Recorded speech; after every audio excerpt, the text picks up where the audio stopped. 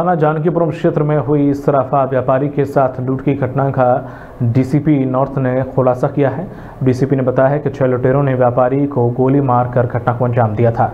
सराफा व्यापारी साथ लूट में शामिल छह लुटेरों में उत्तम पांडे सारी जानकारी देता था और पकड़े गए सात लुटेरों को, जो बड़ा आपराधिक इतिहास भी रहा है। सात लुटेरों के पास से बरामद हुए सामान में बत्तीस बोर की एक रिवॉल्वर और पाँच अर्ध ज़िंदा कारतूस लुटा हुआ मोबाइल और एक चार पहिया वाहन सफ़ेद रंग का बरामद किया गया।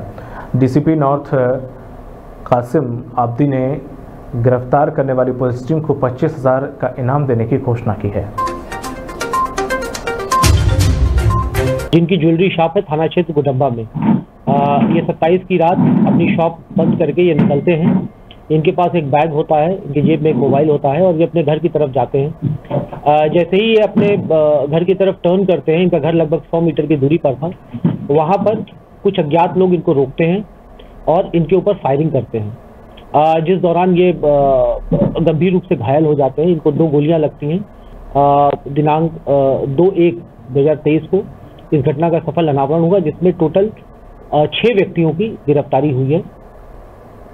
राजधानी लखनऊ में अपना दल एस की मासिक बैठक आयोजित की गई है, जिसमें यहाँ केंद्रीय मंत्री शामिल हुए हैं। आपको बता दें कि इस बैठक में विभिन्न मुद्दों को लेकर चर्चा की गई और काफ़ी संख्या में कार्यकर्ता भी इसमें शामिल हुए हैं।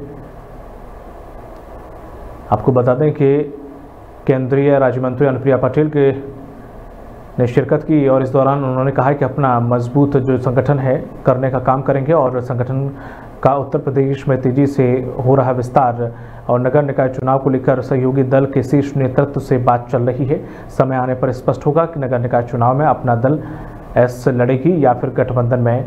2014 के लोकसभा चुनाव में है और बीजेपी और अपना दल एस का गठबंधन पंचायत चुनाव में अलग अलग लड़े थे। अपना दल एस और बीजेपी निकाय चुनाव को लेकर अभी स्पष्टीकरण नहीं हो पाया है। अभी मुझे एक लिस्ट मिली है। सब लोग अपनी अपनी आज नए साल 2023 की हमारी प्रथम बैठक का आयोजन प्रदेश कार्यालय पर हुआ है। और इस नए वर्ष में हम पार्टी को और मज़बूत करने के लिए निरंतर कार्य कर रहे हैं, ऐसा संकल्प हमारे कार्यकर्ताओं ने लिया है।